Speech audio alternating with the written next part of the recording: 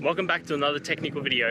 Today I'll be going through your question, answering it and hoping finding that solution that you're looking for. Guys, remember to stay just a little bit crazy just like me and work through to that resolution. Now let's continue on.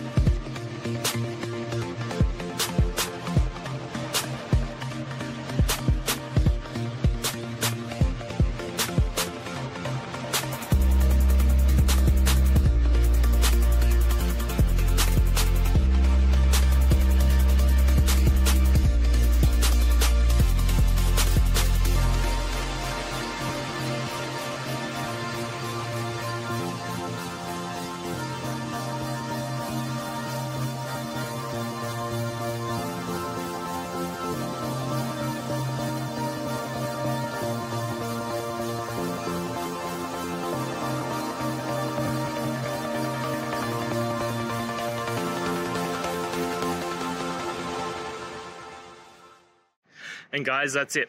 I hope this video has helped you and get you through to that resolution you needed. If it did, please, I'd appreciate it if you hit subscribe. Now, until the next time that you need technical help, I hope you have a good one. Cheers.